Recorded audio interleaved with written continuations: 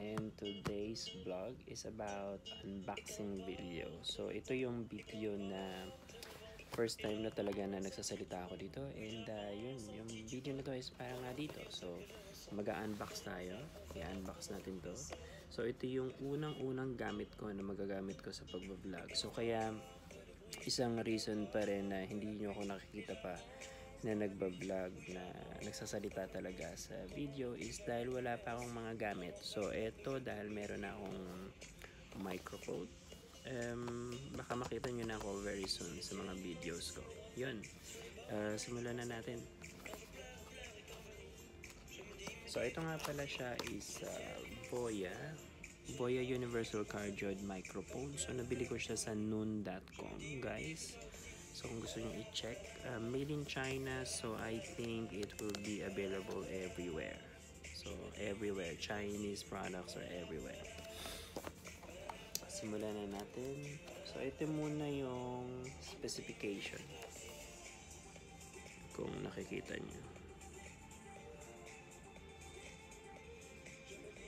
Alright. Simulan na natin.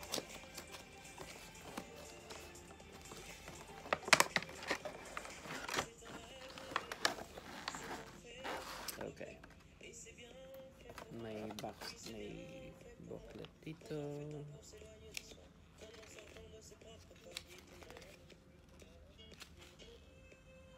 Okay.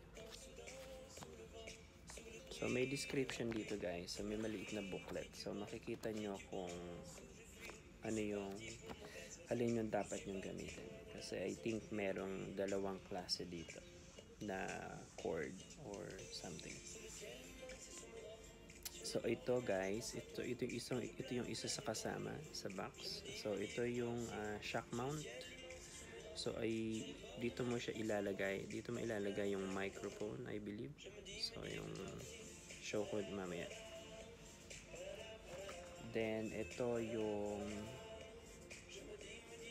ito yung para sa mga camcorders. So kung ang gamit nyo is uh, DSLR or yung mga audio recorder, ito yung kailangan nyo na connector. Okay.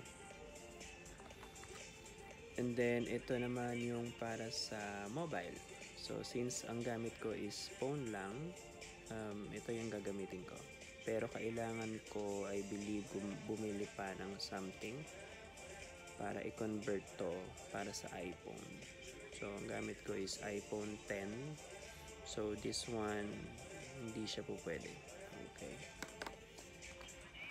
Um, and then may bag. May bag siya. So, pwede mo ilagay dito yon pag magta-travel ka. And lastly, eto. So, meron siyang eto. Ang tawag ng iba dito is patay na pusa. Uh, patay na pusa kasi mukha siyang patay na pusa, 'di ba? So, I believe ito yung pang-filter ng hangin, especially kung nasa labas kayo or outdoor or mga gumagalaw kayo, mas mahangin. So, mapi-filter niya yung hangin so hindi hindi mababasag yung voice or audio nyo. 'Yon. And then ito yung mic. So yung mic, ito yung mic. Maliit lang siya. So ganito siya kahaba. Yan. So parang mga 3 inch.